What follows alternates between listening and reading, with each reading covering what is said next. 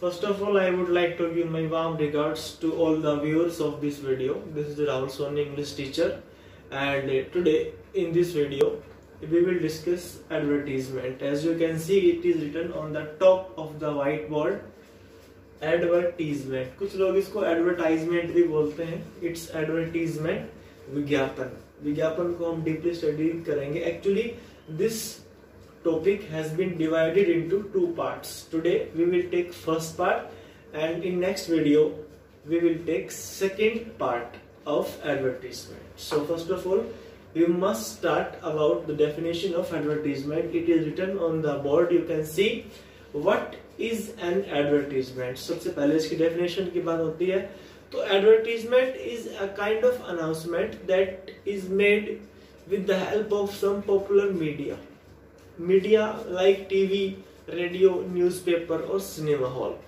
These are some popular medias with the help of advertisement can be reach to the maximum public okay if we come to the exact definition of an advertisement so it is written on the board you can see it is an announcement ये एक प्रकार की घोषणा होती है made through a popular medium जिसको एक popular माध्यम से करवाया जाता है, वो माध्यम क्या हो सकते हैं? टीवी हो सकता है रेडियो हो सकता है न्यूज़पेपर हो सकता है मैगजीन हो सकती है, और सिनेमा हॉल में भी आपने देखा होगा।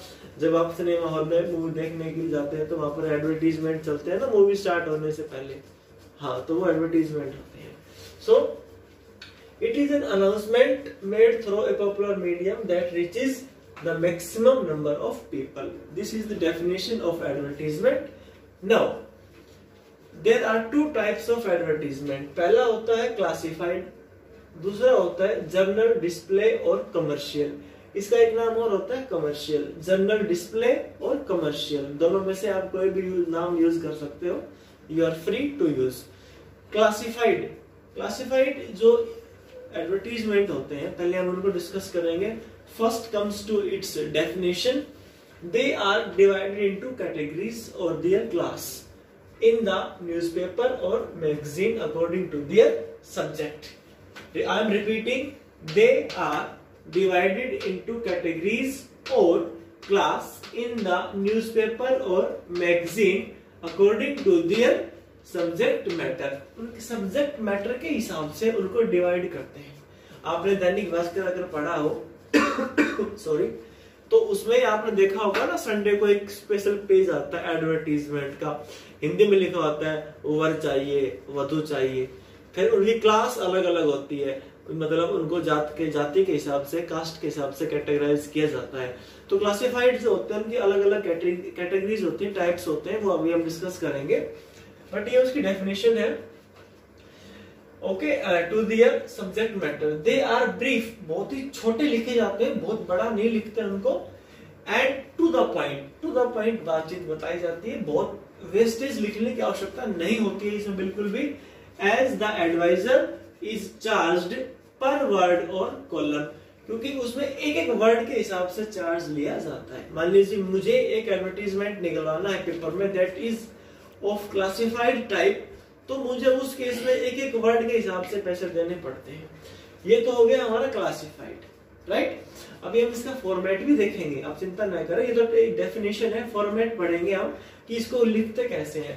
सेकंड इज़ कमर्शियल सो इसका बेसिक से बता दूँ मैं आपको, ये कमर्शियल पर्पज के लिए यूज़ किए जाते हैं। ये इस तरह के हमारे पास जो ये होते हैं उनको हम इन, इस प्रकार के एडवर्टीजमेंट को हम यूज़ करते हैं कमर्शियल पर्पज के लिए। Definition is there you can see these are designed for commercial purpose they are use by leading manufacturers जो बड़े बड़े जो इंडस्ट्रीज़ होते हैं बड़ी बड़ी इंडस्ट्रीज़ या बड़े लोग जो होते हैं, जिनको जो बहुत बड़े लेवल पे बिज़नेस चलता है, वो इनको यूज़ करते हैं ऑर्गेनाइजेशंस एक्सेट्रा फॉर पब्लिसिटी अपने बिज़नेस की पब्लिसिटी करने के लिए, अपने प्रोडक्ट को दूसरों तक पहुँचाने के लिए and promotion of their products और एंटरप्राइजेस प्रोडक्ट्स का मतलब तो आप जानते हो, यहाँ पर एंटरप्राइजेस का मतलब होता है व्यापार बिज़नेस अपने बिज़नेस को बढ़ाने के लिए। अब देखो, मैं आपको समझाता हूँ। अब जैसे आप अपने स्कूल को, आपने किसी स्कूल का देखा होगा कि भैया लगा होता है ना आजकल, भाई A B C public school announce scholarship test scholarship test के वो ऐड देते हैं, अखबार में पूरा फ्रंट पेज भर देते हैं। तो वो क्लासिफाइड नहीं है। वो कौन सा है? हमारा कमर्शियल है, क्योंकि वो अपने स्कूल का प्रमोशन कर रहे हैं। मैक्सिमम बच्चे वहाँ पर जाए, वो बताते हैं हम कितनी अच्छी education is available in our campus so this is a kind of commercial और general display advertisement second we take classified classified होते हैं बहुत छोटे से। For example you might have times in newspaper situation vacant one PGT English teacher is required in ABC public school वगैरह वगैरह। Qualification is must be this this and this basic see requirement दी जाती है हमें एक teacher चाहिए, इतना पढ़ा लिखा हो, यहाँ हम इतनी सैलरी दे सकते हैं, वगैरह वगैरह। डोंट वरी आपको फ़ोटो में सब कुछ मिलेगा बट सिर्फ़ डेफिनेशन में फ़र्क समझिए कि ये इसमें क्या फ़र्क होता है? ये टू द पॉइंट बात बताता है, छोटा लिखता है इसको ब्रीफली और ये बिज़नेस को बढ़ावा देने के लिए, ये आवश्यकताओं की पूर्ति के लिए लिखते हम कह सकते हैं। बस ज़रूरत को पूरा करता है, ये ज़रूरत को पूरा नहीं करता, ये जो है बिज़नेस को बढ़ाने के लिए करते हैं। तो in this video we will continue how to write classified we will take an example also and there are some types of classified situation vacant हमें कोई चीज़ चाहिए तो हम उसका एडवर्टीजमेंट निकालते हैं। टू लेट किराए पे मकान चाहिए किराए पे मकान चढ़ाना है। Then we use classified lost और फाउंड नेम और एड्रेस चेंज करवाना है। तो हम इसमें जाते हैं। ओबिटोरी का मतलब होता है शोक संदेश किसी के पास पहुंचाना होता है। आप you might have seen in the newspaper education से रिलेटेड भी होते हैं, छोटे लेवल पे। Tour and travel matrimonial for sale और परचेज एंड अपील कोई रिक्वेस्ट अगर आप करना चाहते हो तो these are some categories which we use in classified now we will take one example in which we will come to know how to write a classified article. So, we must take an example. माफ़ी चाहूँगा, मैंने गलती से article बोल दिया, वो advertisement है। So this is the question as you can see and we are going to have a very beautiful advertisement on this given topic at first of all we must have a meticulous look of the question question is this you are general manager of Orient export house Ramnagar Delhi you want to appoint a typewriter cum पिले मतलब वो दोनों होना चाहिए। Tab writer का काम भी करे और पीए का भी काम करे।